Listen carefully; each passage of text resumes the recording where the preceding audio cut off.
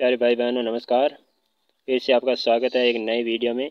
और इस वीडियो में हम पढ़ेंगे राजस्थान अध्यापक पात्रता परीक्षा 2011 अर्थात आर टेट दो का पेपर है। लेवल सेकेंड, छठी से आठवीं और प्रश्न पत्र सामाजिक अध्ययन। इसमें सामाजिक अध्ययन और साइकोलॉजी के प्रश्न पढ़ेंगे। तो पहले प्रश्न में चलते हैं डायरेक्ट। और इस चैनल पर आप पहली बार वीडियो देख रहे हो तो चैनल को सब्सक्राइब ज़रूर कर लीजिए दोस्तों। इतनी से आपसे रिक्वेस्ट है। तो चलते हैं पहले क्वेश्चन में।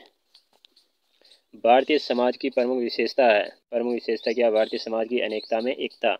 नगरीकरण परिणाम है। नगरीकरण जो है, स नंबर राइट हो जाएगा इसमें। ग्रामों से नगरों की ओर जनसंख्या पलायन का। चलते हैं तीन नंबर। क्षेत्रीयतावाद मुख्य कारण है। क्षेत्रीयतावाद सामाजिक तनावों का। आगे फोर नंबर। सामाजिक अध्ययन के अध्यापक को विषय वस्तु के साथ साथ ज्ञान होना चाहिए। शिक्षण विधियों का ज्ञान होना चाहिए। विषय वस्तु के साथ साथ में किसका ज्ञान होना चाहिए? शिक्षण विधियों का ज्ञान भी होना चाहिए टीचर को। चलते हैं आगे, पाँच नंबर। भारत में गरीबी के लिए कौन सा कारण नहीं है? गरीबी के लिए कौन सा कारण नहीं है? तो इसमें शिक्षा नहीं है। सही वाला राइट हो जाएगा। कि सड़पाकालीन इमारत को सर जॉन मार्शल ने विश्व का एक अद्भुत निर्माण कहा?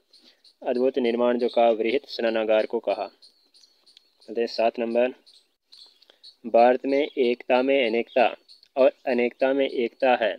ये कथन किसने कहा था? वी. ए. समित ने कहा था। अर्थात ये कथन किसका है? तो वी. ए. समित का है। एकता में अनेकता और अनेकता में एकता। वी. ए. समित का कथन है।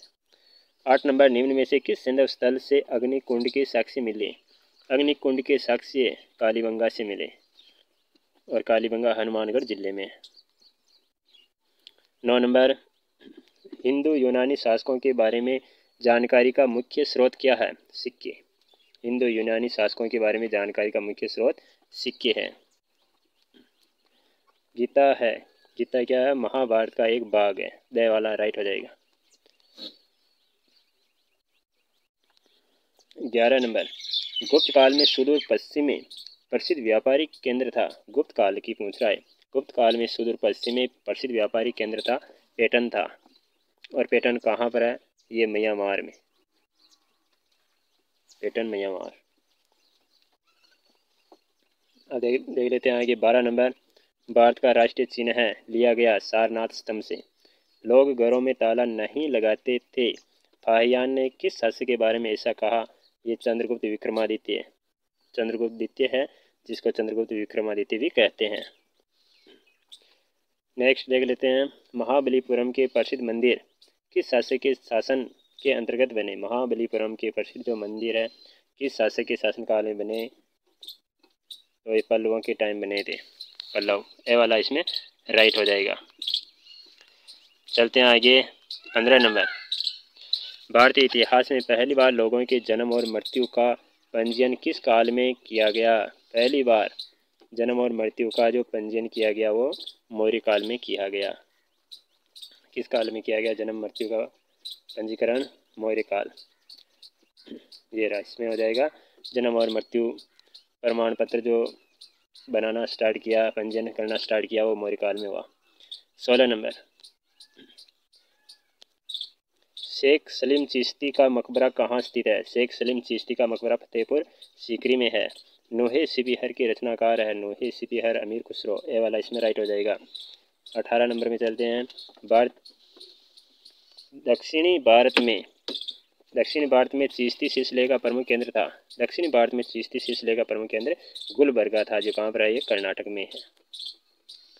दक्षिणी में दक्षिणी भारत में, गुलबर्गा कर्नाटक राज्य में है। संत दादू की मृत्यु किस स्थल पर हुई? संत दादू की मृत्यु जो हुई थी, वो नारायणा में हुई थी और नारायणा जयपुर ज़िले में। बीस नंबर, संत जाम्बोजी का जन्म कहाँ हुआ था? संत जाम्बोजी का जन्म पिपासर में हुआ था, पिपासर, नागौर ज़िले में। दस्तक शब्द शब्द से क्या तात्पर्य है? दस्तक एक शुल्क मुक्त व्यापार है। और बाईस नंबर में चलते हैं। अकबर के चित्तौड़ पर आक्रमण, अकबर ने चित्तौड़ पर आक्रमण किया था पंद्रह सौ सड़सठ, अड़सठ में। अकबर के चित्तौड़, अकबर के चित्तौड़गढ़ पर आक्रमण पंद्रह सौ सड़सठ, अड़सठ के समय वहाँ का शासक कौन था? वहाँ का शासक महाराणा उदय सिंह था। वह वाला राइट हो जाएगा। किस मुगल बादशाह के काल को हिंदी साहित्य का स्वर्ण युग, हिंदी साहित्य का स्वर्ण युग कहा जाता है? अकबर के शासनकाल को कहा जाता है, अकबर के काल को कहा जाता है। तो वह वाला राइट हो जाएगा अकबर। चलते हैं आगे चौबीस नंबर। कौन से फ्रांसीसी यात्री ने छह बार भारत की यात्रा की थी? छह बार। भारत की यात्रा छह बार किसने की थी? टेवरनियर ने की थी। दे वाला राइट हो जाएगा। आइन ए अकबरी में अबुल फजल ने मनसबदारों की कितनी श्रेणियों का उल्लेख किया? मनसबदारों की सासठ श्रेणियों का उल्लेख किया। छब्बीस नंबर। भारत के प्रथम स्वतंत्रता संग्राम अठारह सौ सत्तावन का कानपुर में नेतृत्व किसने किया था? कानपुर में नाना साहब ने किया था। सवाल राइट हो जाएगा। अठारह सौ सत्तावन के दौरान लिखित पुस्तक माजा प्रवास के लेखक है। माजा प्रवास के लेखक विष्णु भट्ट गोडसे। अट्ठाईस नंबर। महान नागा महिला गिंडालियू को रानी की उपाधि किसने दी थी? गिंडालियू जो है, इसको रानी की उपाधि पंडित जवाहरलाल नेहरू ने दी थी। सवाल राइट हो जाएगा। महात्मा गांधी ने अपनी आत्मकथा किस भाषा में लिखी? महात्मा गांधी ने अपनी आत्मकथा जो लिखी थी, वो गुजराती भाषा में लिखी थी, लेकिन यहाँ अंग्रेज़ी राइट कर रखा है तो आप देख लेना। मेरे हिसाब हिसाब से इसमें गुजराती होगा इसमें। तो इसमें देख लेना, गुजराती सही होगा वैसे। तीस नंबर, ब्रिटिश संसद ने किस वर्ष कानून पास कर ईस्ट इंडिया कंपनी के सारे अधिकार छीन लिए? अठारह में छीन लिए, अधिकार छीन लिए, अठारह ए वाला इसमें राइट हो जाएगा। चलते हैं आगे इकतीस नंबर। इकतीस नंबर देख लेते हैं। ये रहा इकतीस। भारतीय संविधान लागू किया गया। भारतीय संविधान कब लागू किया गया छब्बीस जनवरी 1950 को। भारतीय संविधान लागू किया गया 26 जनवरी 1950 को। भारतीय संविधान बाघ चार चार अनुच्छेद इक्यावन ए में नागरिकों के कितने मूल कर्तव्य वर्णित है? बाघ चार अनुच्छेद इक्यावन ए में नागरिकों के मूल कर्तव्य दस है। इसमें, ए वाला इसमें राइट आंसर हो जाएगा दस। अब इसके बारे में थोड़ा सा एक और पढ़ लेते हैं तैंतीसा फिर बाद में थोड़ा बताएँगे, इसके बारे में व्याख्या करेंगे। संविधान निर्मात्री सभा की पहली बैठक कब आयोजित की गई थी? संविधान निर्मात्री सभा की पहली बैठक जो हुई थी 9 दिसंबर उन्नीस सौ छियालीस को हुई थी। अब थोड़ी इसके बारे में व्याख्या देख लेते हैं। तो इधर देख लीजिए आप हैं। ऊपर संविधान निर्मात्री सभा की पहली बैठक जो हुई थी 9 दिसंबर उन्नीस सौ छियालीस को हुई थी 9 दिसंबर 1946 को पहली बैठक हुई संविधान निर्माती सभा की और प्रथम बैठक के अंदर अस्थायी अध्यक्ष जो बनाया गया था अस्थायी अध्यक्ष सच्चिदानंद सिन्हा को बनाया गया था अस्थायी अध्यक्ष और सदस्यों की संख्या 260 थी ये याद रखना प्रथम बैठक कब हुई संविधान निर्मात्री सभा की तो 9 दिसंबर उन्नीस सौ छियालीस को और अस्थायी अध्यक्ष कौन था सच्चिदानंद सिन्हा और सदस्य कितने थे 207 अब दूसरी जो बैठक हुई थी, उसके दो दिन बाद हुई थी। नौ तारीख को पहली बैठक हो गई और दो दिन बाद स्थायी बैठक हुई। स्थायी बैठक हुई ग्यारह दिसंबर उन्नीस सौ छियालीस को। उसके दो दिन बाद स्थायी बैठक ग्यारह दिसंबर उन्नीस सौ छियालीस और स्थायी अध्यक्ष बना दिया गया था। स्थायी अध्यक्ष कौन बना था? डॉक्टर राजेंद्र प्रसाद, डॉक्टर राजेंद्र प्रसाद को स्थायी अध्यक्ष बना दिया गया था और 324 सदस्य थे। और फिर उसके दो दिन बाद, तेरह दिसंबर उन्नीस सौ छियालीस को फिर उसके दो दिन बाद तेरह दिसंबर उन्नीस सौ छियालीस को प्रस्ताव प्रस्तुत किया गया। और प्रस्ताव प्रस्तुत किसने किया? पंडित जवाहरलाल नेहरू ने किया था प्रस्ताव प्रस्तुत। और विचार विमर्श जो चला था, विचार विमर्श ये आठ दिन तक चला था। तो ये ध्यान रख लेना आपको कि संविधान निर्मात्री सभा की पहली बैठक नौ दिसंबर उन्नीस सौ छियालीस को हुई और दूसरी बैठक जो स्थायी बैठक वो ग्यारह दिसंबर उन्नीस और प्रस्ताव प्रस्तुत किया तेरह दिसंबर उन्नीस सौ छियालीस को। और अस्थायी अध्यक्ष सच्चिदानंद सिन्हा स्थायी अध्यक्ष राजेंद्र प्रसाद और प्रस्ताव प्रस्तुत किसने किया? पंडित जवाहरलाल नेहरू ने और आठ दिन विचार विमर्श चला और इसके साथ ही थोड़ी सी जानकारी और और देख लेते हैं हम।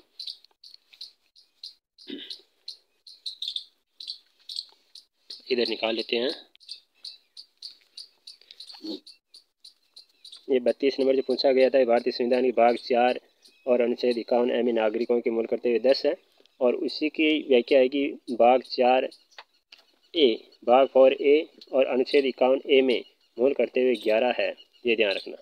भाग चार ए और अनुच्छेद इक्यावन ए में मूल करते हुए है ग्यारह और ये जो है बारह अधिवेशन हुए कुल और एक सौ पैंसठ दिन कार्रवाई चली। ये इसका है संविधान निर्मात्री सभा वाला। तो ये आप देख लेना। और अब चलते हैं डायरेक्ट वापस क्वेश्चनों पे। चौंतीस नंबर।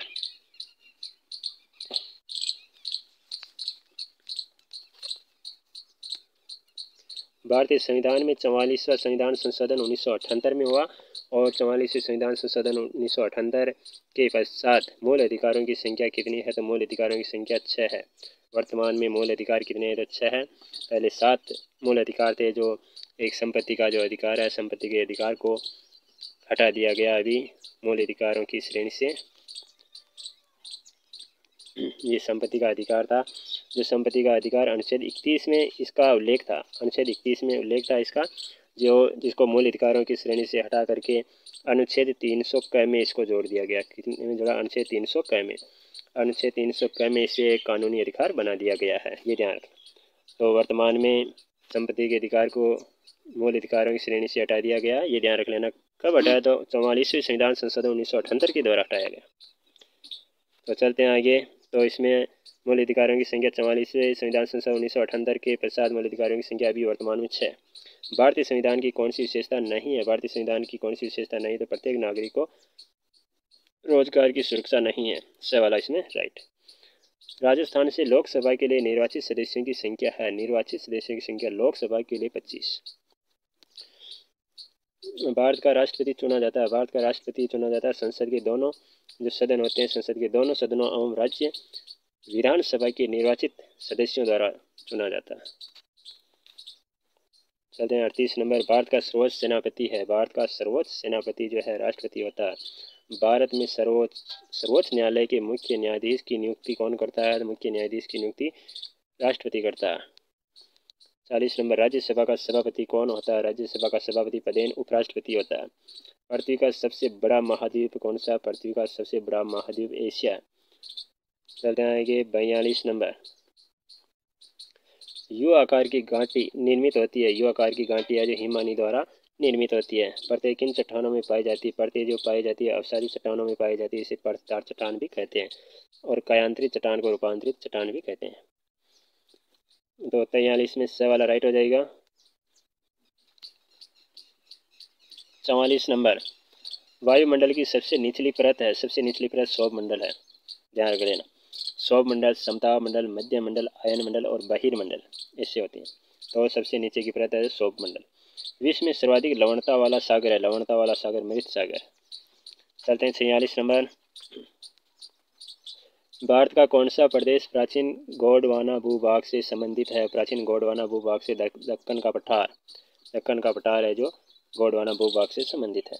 सौंदर्य वृक्ष किस प्रकार के वनों में पाया जाता है? सौंदर्य वृक्ष जो पाया जाता है ज्वारी वनों में पाया जाता है। चलते हैं आगे अड़चास नंबर।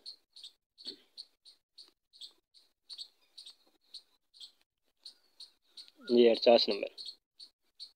उत्तरी भारत में शीतकालीन वर्षा का कारण है। उत्तरी भारत में शीतकालीन वर्षा जो होती है, शीतकालीन वर्षा को मावट के नाम से जाना जाता है। क्या कहते हैं इसे मावट के नाम से जाना जाता है? और इनका कारण है पश्चिमी चक्रवर्ती विशोभ ब वाला इसमें राइट आंसर हो जाएगा सींद्री किसके उत्पादन के लिए प्रसिद्ध है? सींद्री सींद्री रासायनिक उर्वरक के उत्पादन के लिए प्रसिद्ध है। बाकड़ा नागल परियोजना किस नदी पर स्थित है? तो सतलज नदी पर स्थित है। ये नागर है जो नागर ले आना चाहिए था यहाँ पे। तो बाक, बांकड़ा नागल परियोजना किस नदी पर स्थित है? तो सतलज नदी हो जाएगा इसमें। इक्यावन नंबर, राजस्थान में सोयाबीन के प्रमुख उत्पादक ज़िले हैं। राजस्थान सोयाबीन के प्रमुख उत्पादक ज़िले कौन कौन से हैं? कोटा बारह राजस्थानी की ज़िले में टंगस्टन का उत्पादन होता है। टंगस्टन डेगना बाखरी नागौर में होता है। वर्षा जल संग्रहण लाभदायक है। वर्षा जल संग्रहण लाभदायक है, किसके लिए लाभदायक है? भूमिगत जल स्तर सुधारने के लिए लाभदायक है। तो द वाला राइट हो जाएगा। राजस्थान में राष्ट्रीय राजमार्ग पंद्रह पर स्थित नगर है। राष्ट्रीय राजमार्ग पंद्रह पर स्थित नगर कौन कौन से हैं? श्री गंगानगर बीकानेर, जैसलमेर और बाड़मेर है। द वाला इसमें राइट आंसर हो जाएगा। चलते हैं फिर आगे। अरावली का दूसरा उच्चतम शिखर है। अरावली का दूसरा शेर है। अठारह की क्रांति के समय कोटा का शासक था। अठारह की क्रांति के समय कोटा का शासक कौन था? तो महाराव राम सिंह द्वितीय था। वह वाला इसमें राइट आंसर हो जाएगा। चलते हैं फिर आगे सत्तावन नंबर। सालिम सिंह की हवेली स्थित है। प्रसिद्ध सालिम सिंह की हवेली जैसलमेर में है। ध्यान रखना। सालिम सिंह की हवेली जैसलमेर में, जबकि जालिम सिंह की हवेली जालरा पाटन झालावाड़ में। ये ध्यान रखना, आपको सालिम सिंह आ जाए तो जैसलमेर और जालिम सिंह आ जाए तो जालिम सिंह जालरा पाटन झालावाड़ में। किस ज़िले में गोगा मेड़ी मेला लगता है? तो गोगा मेड़ी हनुमानगढ़ में, नौहर हनुमानगढ़, नौहर तहसील में। वह किला जिस पर अंग्रेज़ जनरल, वह किला जिस पर अंग्रेज़ जनरल लॉर्ड लेक ने पाँच बार चढ़ाई की, किंतु पाँचों बार असफल रहा। पाँच बार चढ़ाई की थी, पाँचों बार असफल हुआ था ये लोहागढ़, भरतपुर। ए वाला राइट आंसर हो जाएगा। मेवाड़ प्रजामंडल के प्रथम अध्यक्ष थे। मेवाड़ प्रजामंडल के प्रथम अध्यक्ष है वो बलवंत सिंह मेहता थे और मेवाड़ प्रजामंडल के संस्थापक माणिक लाल वर्मा थे, एम एल वी। ये ध्यान रखना। संस्थापक आ जाए मेवाड़ प्रजामंडल के संस्थापक कौन थे? तो माणिक लाल वर्मा और मेवाड़ प्रजामंडल के अध्यक्ष आ जाए प्रथम अध्यक्ष तो बलवंत सिंह मेहता। ये थे साठ क्वेश्चन अब देख लेते हैं हम साइकोलॉजी के क्वेश्चन अर्थात मनोविज्ञान की। पहले क्वेश्चन में चलते हैं। निम्न में से कौन सा कथन विकास के बारे में सत्य नहीं है? विकास के बारे में सत्य नहीं। विकास अंत क्रिया का फल है। ये भी सही है, विकास एक व्यवस्थित श्रृंखला का अनुगामी है। ये भी सही है, विकास एक व्यक्तिगत प्रक्रिया है। ये भी सही है, विकास विशिष्ट से सामान्य की ओर होता है। ये नहीं है। विकास है जो सामान्य से विशिष्ट की ओर होगा, जबकि ये विपरीत बता रखा। विकास जो होता है, सामान्य से विशिष्ट की ओर होता है। तो फोर नंबर राइट आंसर हो जाएगा। दो नंबर बालकों को सोच। बालकों की सोच अमूर्तता की अपेक्षा। मूर्त अनुभवों एवं प्रतियों से होती है, ये अवस्था है। बालक मूर्त अनुभव जो सीखता है, मूर्त अनुभव रखता है, वो मूर्त का मतलब यांत्रिक होता तो ये बाल्यावस्था में रखता है और बाल्यावस्था की जो उम्र होती है छः वर्ष से बारह वर्ष के बीच होती है तो सात से बारह वर्ष के मध्य हो जाएगा, एक एक नंबर राइट हो जाएगा। और मूर्त का मतलब तो यांत्रिक रूप से होता है और अमूर्त का मतलब बौद्धिक होता है, पुस्तकीय ज्ञान, बौद्धिक। देख लेते हैं आगे। मानव विकास, किन दोनों के योगदान का परिणाम है? मानव जो विकास है, विकास, ये वंश, क्रम एवं वातावरण, दोनों का परिणाम है। देख लेते हैं आगे चार नंबर। निम्न में से कौन प्याजे के अनुसार बौद्धिक विकास का निर्धारक तत्व तो नहीं है? प्याजे के अनुसार बौद्धिक विकास का तो सामाजिक संचरण नहीं है, एक नंबर नहीं है पाँच नंबर देख लेते हैं, विशेष आवश्यकता वाले बच्चों को पढ़ाने के लिए निम्नलिखित में से कौन सी व्यूह रचना अधिक उपयुक्त है? यानी कि विशेष आवश्यकता वाले बच्चों को पढ़ाने के लिए। इसमें तीन नंबर राइट हो जाएगा। सहकारी अधिकम तथा पीयर ट्यूटरिंग। तीन नंबर राइट हो जाएगा। देख लेते हैं कि छः नंबर समस्या के अर्थ को जानने की योग्यता। कोई भी समस्या समस्या के अर्थ को जानने की योग्यता, वातावरण के दोषों, कमियों और रिक्तियों के प्रति सजगता, विशेषता, सजगता सर्जनशील बालकों की विशेषता है। सात नंबर। एक कॉलेज जाने वाली लड़की ने फर्श पर कोट फेंकने की आदत डाल ली है। कॉलेज जाने वाली लड़की ने फर्श पर कोट फेंकने की आदत डाल है। लड़की की माँ ने उससे कहा कि कमरे कि कमरे से बाहर जाओ और कोट को खूंटी पर टांगो। लड़की अगली बार घर में प्रवेश करती है और कोट को हाथ पर रखकर अलमारी की तरफ़ जाकर कोट को खूंटी पर टांग देती है। यह उदाहरण है तो यह श्रृंखलागत अधिगम का उदाहरण है। एक नंबर इसमें राइट हो जाएगा। चलते हैं फिर आगे। आठ नंबर।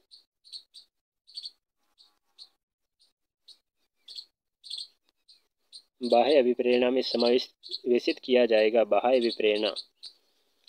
बाह्य अभिप्रेरणा में समावेशित किया जाएगा। प्रशंसा एवं दोषारोपण, ये भी सही है।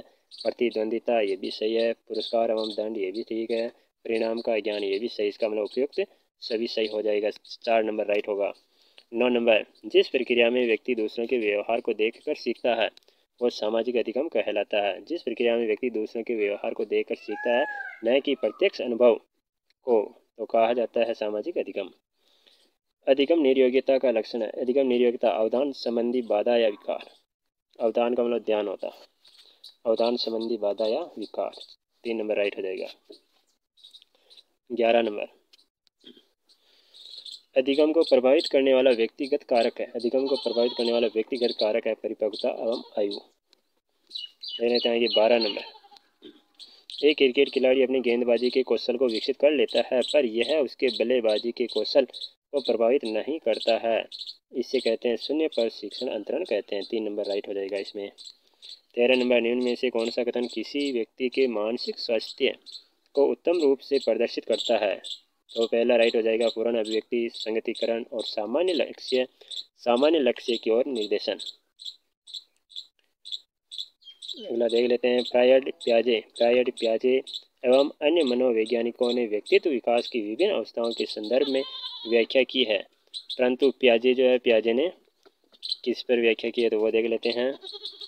तीन नंबर राइट हो जाएगा, विभिन्न अवस्थाओं को समझाने के लिए संज्ञानात्मक बदलाव के बारे में कहा तो जीन प्याजे का संज्ञानात्मक सिद्धांत है। चलते हैं आगे, पंद्रह नंबर। गिलफोल्ड ने गिलफोल्ड ने अभिसारी चिंतन अभिसारी चिंतन पद का प्रयोग किसके समान अर्थ में किया था? अभिसारी जो चिंतन है, उसका प्रयोग सृजनात्मकता के अर्थ में किया, सृजनात्मकता। निम्न में से कौन सा कथन रुचि के बारे में सत्य नहीं है? रुचि के बारे में सत्य नहीं है, इसमें चार नंबर राइट हो जाएगा। रुचियाँ व्यवहार में आकर्षण एवं विकर्षण के प्रतिबिंब नहीं होते। हैं देख लेते हैं आगे सत्रह नंबर। अभिवर्ती है, अभिवर्ती। एक वाला राइट हो जाएगा। इसमें एक भावात्मक प्रवृत्ति जो अनुभव के द्वारा संगठित होकर किसी मनोवैज्ञानिक वस्तु के प्रति पसंदगी या नापसंदगी के रूप में प्रतिक्रिया करती है। एक नंबर राइट हो जाएगा अभिवर्ती, भावात्मक प्रवृत्ति। चलते हैं आगे। अठारह नंबर, व्यक्तित्व एवं बुद्धि में। व्यक्तित्व एवं बुद्धि में वंशानुक्रम की नाम मात्र की भूमिका है। एक नंबर राइट हो जाएगा। जिन इच्छाओं की पूर्ति नहीं होती है, उनका भंडार ग्रह जो होता है, वो इदम होता है। एक नंबर राइट हो जाएगा। बीस नंबर रक्षा तंत्र बहुत सहायता करता है। रक्षा तंत्र जो होता है वो दबाव से निपटने में सहायता करता है। रक्षा तंत्र बहुत सहायता करता है दबाव से निपटने में। शारीरिक निर्योग्यता वाले व्यक्ति वाले व्यक्ति के लिए निम्न में से कौन सी युक्ति रक्षा तंत्र में सबसे संतोषजनक होगी? सबसे संतोषजनक अति कल्पना तीन नंबर राइट हो जाएगा। बाईस नंबर, बालक प्रसंग बोध परीक्षण या बाल प्रसंग बोध परीक्षण तीन वर्ष से दस वर्ष की आयु के बालकों के लिए बनाया गया है और इस परीक्षण में कार्ड में प्रतिस्थापित किए गए हैं। कार्ड में लोगों के स्थान पर जानवरों को प्रतिस्थापित किए गए हैं। तो इसमें दो नंबर राइट हो जाएगा। और अलग के प्रसंग बोध परीक्षण के प्रवर्तक या उनके रचनाकार कौन है तो लियोपोल्ड बेलेक है। ये ध्यान रखना, लियोपोल्ड पोल्ट बेलेक। वैसे बालक वैसे बेलेक, इसे याद रख लेना। आगे देख लेते हैं, तेईस नंबर। सृजनशीलता के पोषण के लिए। सृजनशीलता के पोषण के लिए एक अध्यापक को निम्न में से किस विधि की सहायता लेनी चाहिए? ब्रेन स्टार्मिंग, विचारावेश की सहायता लेनी चाहिए। आगे देख लेते हैं, चौबीस नंबर। चौबीस नंबर। निम्न में से कौन सा कथन सही नहीं है? सही नहीं है, आवश्यकता, वंचना की शारीरिक अवस्था नहीं है। ये एक वाला गलत है, इसलिए ये राइट हो जाएगा। पच्चीस नंबर। शिक्षा का अधिकार अधिनियम 2009 शिक्षा का अधिकार अधिनियम 2009 में एक अध्यापक के लिए न्यूनतम कार्य घंटे प्रति सप्ताह, निर्धारित किए गए प्रति सप्ताह पैंतालीस घंटे। और ये क्वेश्चन दो तीन बार आ भी चुका है। आगे छब्बीस नंबर। शिक्षा का अधिकार अधिनियम 2009 में एक अध्यापक को निम्न में से किस दायित्व को पूरा करना होगा? विद्यालय में नियमित रूप से समय पर उपस्थित होना होगा, सही है। पाठ्यक्रम का संचालन कर पूरा करना होगा, ये भी सही है। संपूर्ण पाठ्यक्रम को निर्धारित समय पर पूरा करना होगा, ये भी सही है। इसका मतलब चार नंबर सही हो जाएगा इनमें से सभी। सत्ताईस नंबर, राष्ट्रीय पाठ्यक्रम रूपरेखा दो हज़ार पाँच में शांति शिक्षा को बढ़ावा देने के लिए कुछ क्रियाओं की अनुशंसा की गई है। पाठ्यक्रम रूपरेखा में निम्न में से किसे सूचीबद्ध किया गया है? तो पहला, महिलाओं के प्रति आदर एवं ज़िम्मेदारी का दृष्टिकोण विकसित करने के लिए कार्यक्रम आयोजित किए जाए। एक नंबर इसमें राइट हो जाएगा। चलते हैं फिर आगे। अट्ठाईस नंबर।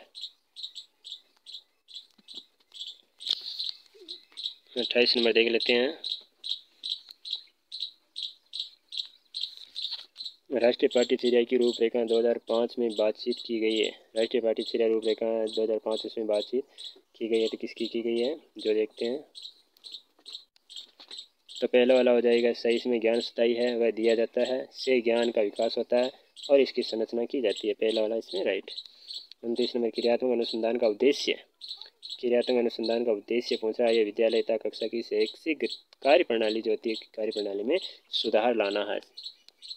विद्यालय तथा कक्षा की शैक्षिक कार्य प्रणाली में सुधार लाना है। यहाँ पर आगे सुधार है।